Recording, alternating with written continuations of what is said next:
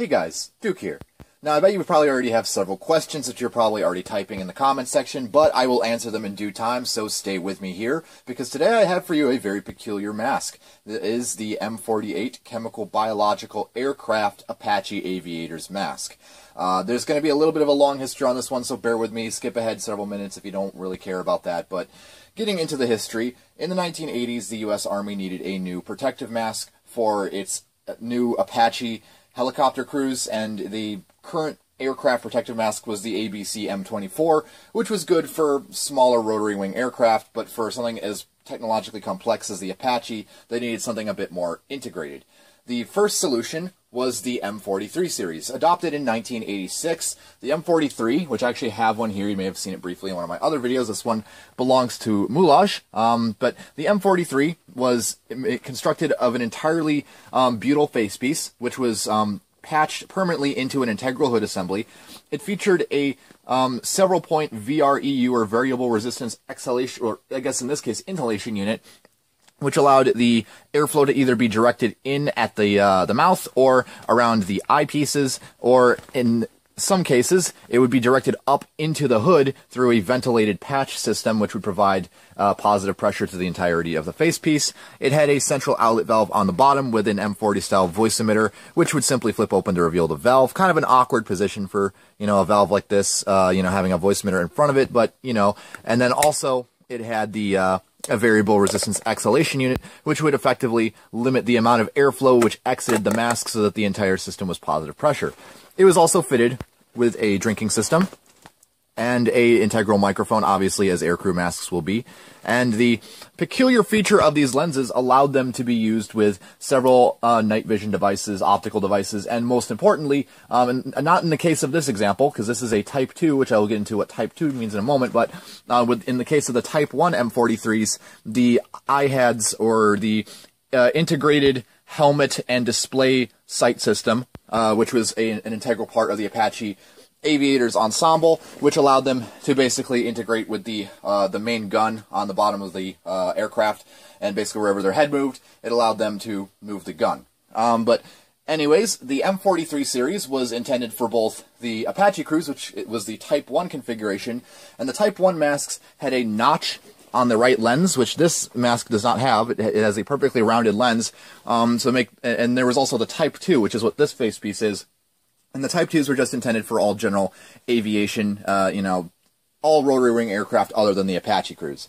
And so uh, that was all good and well, but they needed a little bit more protection. In 1991, the M43 was upgraded as the M43A1, which simply changed the um, the type of battery used in the blower unit so it was more commonly accessible, I believe, or less dangerous. I'm not sure either of the two. Uh, but the main feature was that the hood was now double skirted so it could integrate with the uh, Aviator's Integrated Battle, uh, or AUI, uh, Aviator's Uniform Integrated Battle, I believe it was called, or the AUIB, which is pretty much just the battle dress overgarment or chemical protective suit for um, air crews. But Anywho, the hood was now double skirted to integrate with that, but not much else was changed. Maybe some slight changes to the microphone.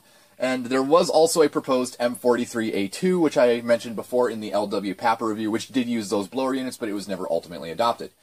Uh, around 1996, or at least it was finalized in 1996, the M48 and M49 masks were developed. The M48 was essentially just an M43A1 uh, Type 1 that had a the newer lightweight blower unit, in this case the C420 as it's now pro, uh, popularly known as, um, but back then it was just called the M48 blower or uh, lightweight motor blower assembly. Um, and the M49 was essentially just an M43A1 Type 2 intended for all general purpose aviation crews. However, uh, also around 1996, the M45 chemical biological mask was adopted, effectively negating the need for the M49, and so the M48 was adopted as the standard for the Apache aircrews, and so the M49 was no longer existent. Um, but they also had a problem they they really could not afford to produce more M48s because this was a very expensive and labor-intensive mass produce. The eyepieces were patched in by hand, the hood was patched on by hand. There was a lot of expensive and high tolerance components on the mask, and so what they had to do was ultimately they figured out around 2003, sometime before, uh, workers at Pine Bluff Arsenal found out that they could remove the lenses on M43A1 Type 2 and M49 masks and re-cement on the notched Type 1 eyepieces, which I will show in detail in a moment because I didn't give you a good impression of what the Type 1 lenses are like. But they were able to convert M43A1 Type 2 and M49 masks into M48s. Confusing, I know. You're probably lost as I am at this point, but nevertheless, uh, around 1990, uh, or excuse me, around 2003, the M48 uh, production had increased, and they were able to convert all the older masks into M48s, which is actually what this mask is, because my particular example is dated 1995, indicating that this was originally an M43A1 uh, that was converted into an M48. So, with all that uh, aside, let's get into the details of the kit itself. Uh, starting with the manual here, which is probably the biggest mask manual I've ever handled. Probably it's around the size, around the same size as the XM28E4 manual, which you can go ahead and check out, out that review if you want a size comparison. But this is a beefy ass manual. Pretty much everything to do with this kit is just gigantic, and probably one of my favorite features about the M48 or just the M43 series masks in general. I just passed this page. Um, uh, the M48 and M43 series masks do not have any form of lens outserts on them. Give me one moment. There's a spider in here. I will get rid of that in a moment.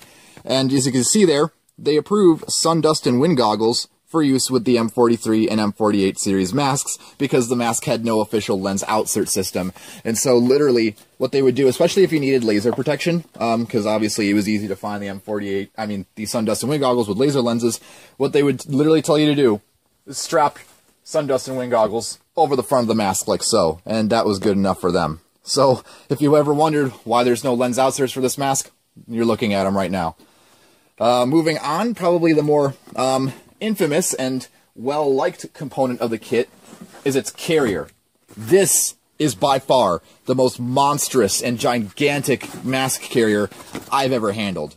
I don't know exactly what all the different pouches and things are meant for, but let me tell you, there is a lot of dead space inside this carrier. There is a lot of storage room. Obviously, this is a big mask, a big kit, but uh, just this is astounding. You could fit everything in this thing, but really not much else to say about this. There is there's a variety of accessories I am unfortunately missing from this kit.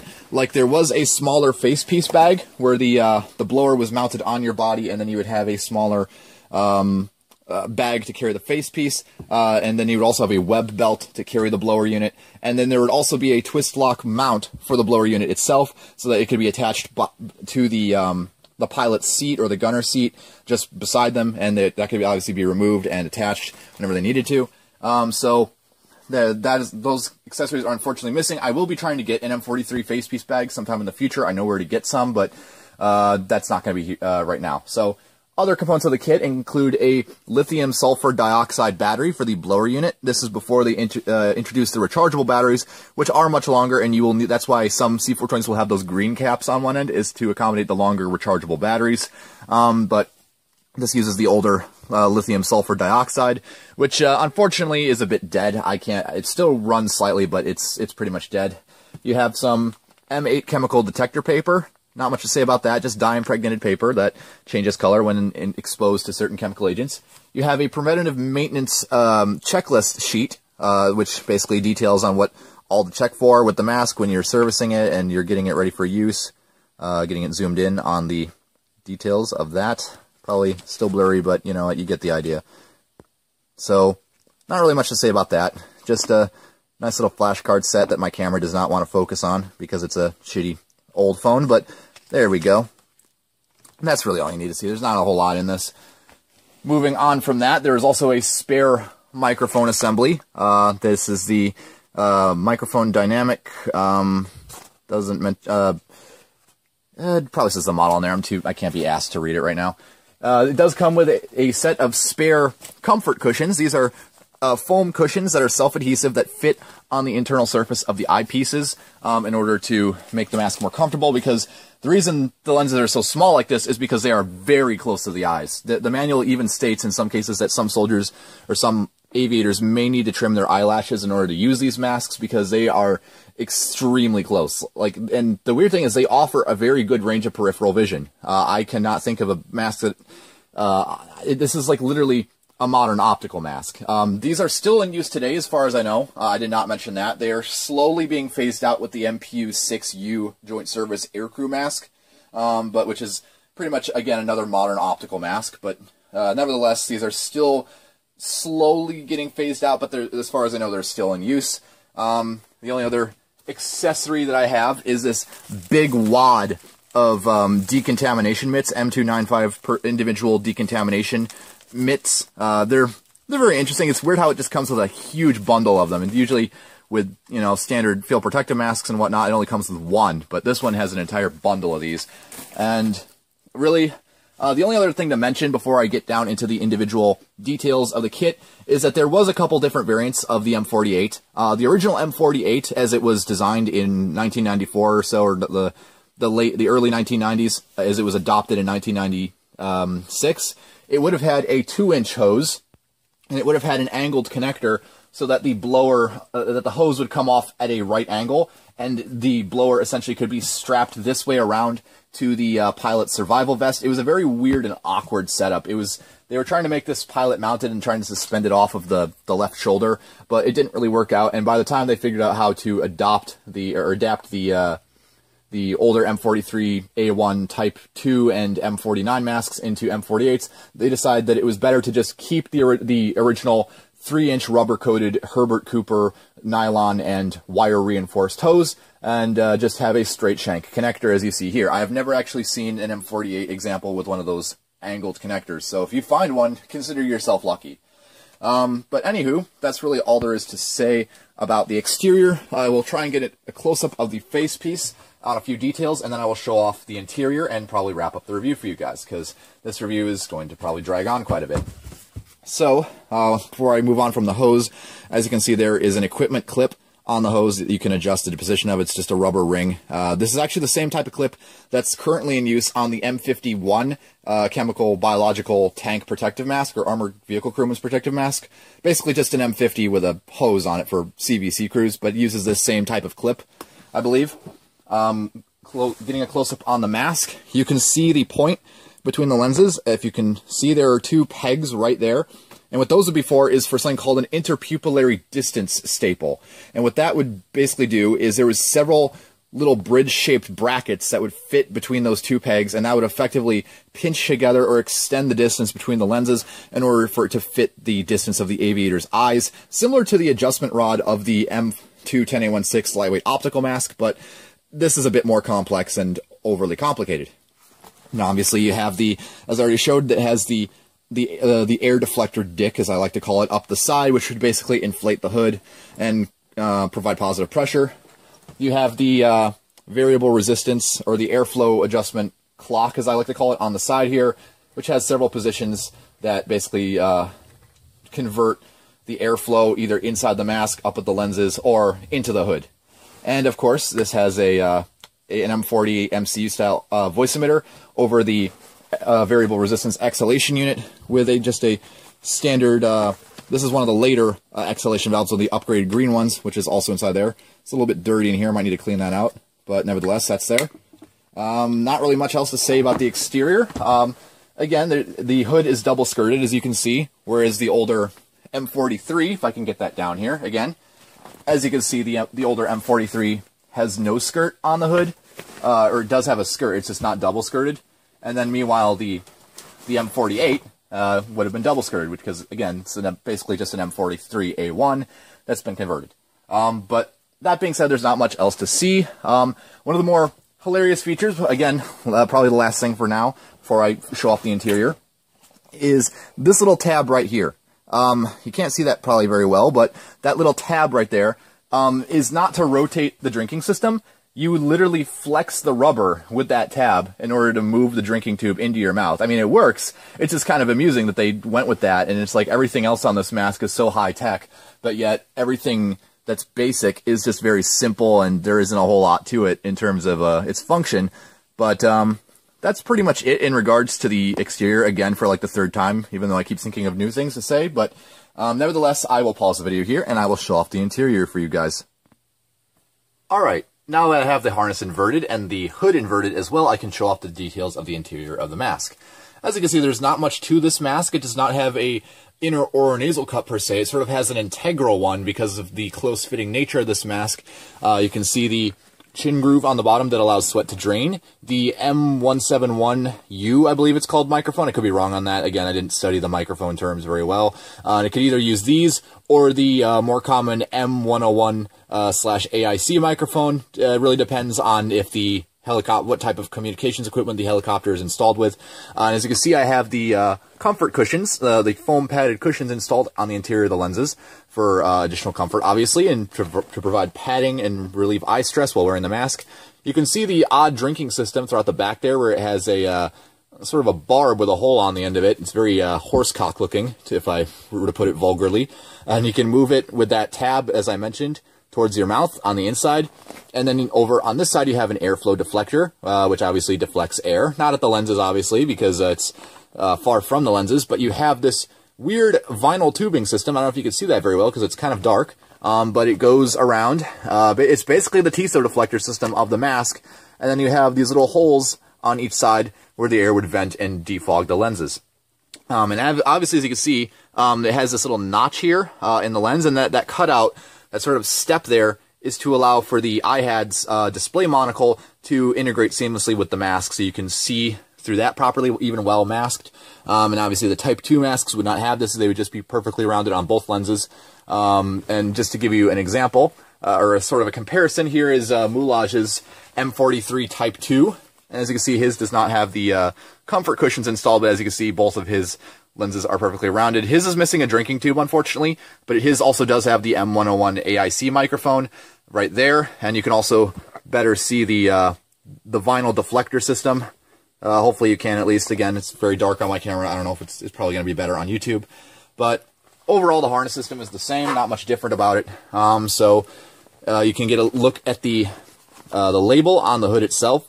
Uh, and as you can see, there is a manufacturer date of 1995, meaning that obviously this is, as I mentioned before, an M43A1 that was converted into an M48, and then uh, basically it was made by MSA. Uh, I'll show off the chin stamps in a moment here once I get the harness inverted again. The head harness is very peculiar because it is sort of a hybrid skull cap system where it is entirely mesh. Again, this would be better if I was sitting down, uh, so let me move some stuff over here so I can. Um, but obviously, uses a mesh, uh, sort of a five-point harness. I can't really call it that because the the fifth point is so large because the uh, the skull cap is integrally sewn into the mask itself. This is like a very weird concept because every the hood and the harness is like completely integral to the mask itself, and it has a single adjustment point for the temples that just goes all the way across. It's just permanently sewn onto this side, and then the two lower straps have this sort of weird swiveled bridge uh, with them, and it extends the buckles. Like they could have just sewn them down here. Uh, or attached them down here, but they they decide to extend them for whatever intents and purposes. So that's very odd, maybe for some sort of repair purpose. And then you have this uh, quick don tab down here made of the hood material, although you can't really quick don these, at least from my experience. Uh, although my medium is a little bit small in me, I probably need a large, um, but, you know, it is what it is. It's, you know, you, you don't get these. It's not something you can find in quantity, so I'm very thankful to have one regardless. And then, obviously, uh, giving you a better look how the harness is literally just sewn through the rubber, as you can see. Very amusing how it's, they just did it like that. Um, again, if my camera would focus because it is a piece of shit. Oh, come on now. You can do better than that. There you go. So you can see there, harness is just completely sewn through the rubber. Um, not really much else to say about the interior.